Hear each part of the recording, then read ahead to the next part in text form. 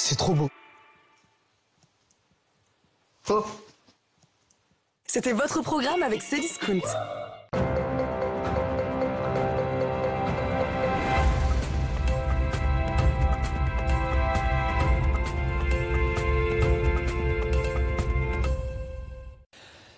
C'est News, 6h59, bienvenue à tous. Merci de démarrer cette journée, cette semaine avec nous dans la matinale.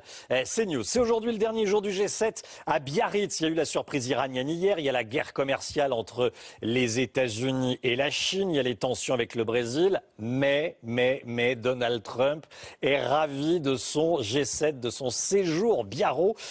Qu'il- Qu'est-ce qu'il pense, tiens, d'Emmanuel Macron, euh, Donald Trump? Ben, C'est Loïc Signor, euh, reporter, service politique de CNews, qui lui a posé la question hier. Vous allez entendre la réponse du président des, des États-Unis dans un instant, dès le début de ce journal. Donald Trump qui a parlé en exclusivité sur CNews. 7 heures pile, les autres titres de ce journal. Anthony Favali.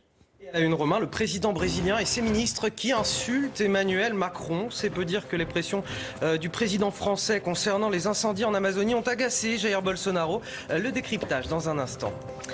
Conséquence de la chaleur, la circulation différenciée reconduite à Paris et mise en place à Lille. Voilà qui tombe mal alors que beaucoup de Français font leur rentrée ce matin. Voilà qui suscite également la polémique. Un hypermarché sans aucun caissier. Notre reportage à Angers où le groupe Casino tente l'expérience. Les manifestants étaient nombreux sur place.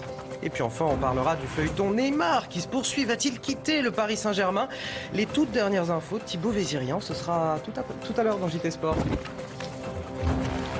C'est donc l'image de ce G7. Regardez la photo de famille des chefs d'État et de gouvernement membres du G7 ainsi que leurs invités avec le magnifique euh, et emblématique phare de euh, Biarritz. Derrière, l'image magnifique. G7 marqué euh, par un coup d'éclat hier après-midi. Emmanuel Macron qui a fait venir à Biarritz le chef de la diplomatie iranienne. Est-ce que ça a mis Donald Trump en colère? Ça n'a pas l'air. Écoutez ce témoignage exclusif, CNews, du président américain. C'était au micro de Loïc Signor et de Fabrice Elsner.